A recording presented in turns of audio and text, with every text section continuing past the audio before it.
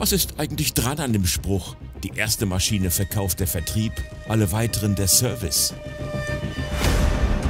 Wie viel Einfluss hat die Kundenbetreuung, Wartung und Instandhaltung von Maschinen und wie unterscheiden sich die guten von den besten unter den Anbietern?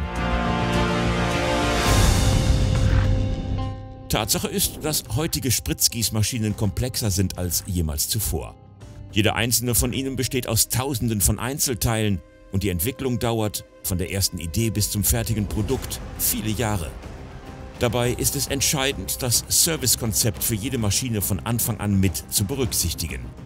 Die Wartung und Instandhaltung, Ersatzteilversorgung und Zuverlässigkeit der Maschine über die Jahre hängen maßgeblich davon ab, wie gründlich sie in die Entwicklung und Konstruktion der Maschine eingeflossen sind.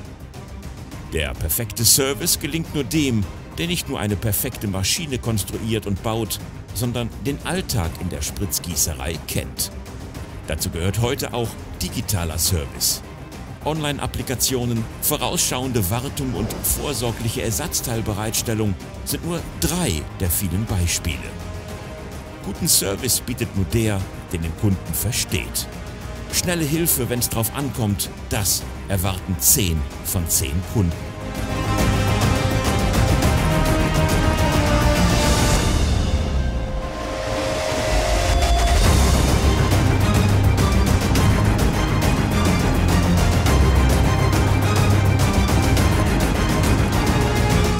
Darum ja, die erste Maschine verkauft der Vertrieb, bei allen weiteren hilft der perfekte Service.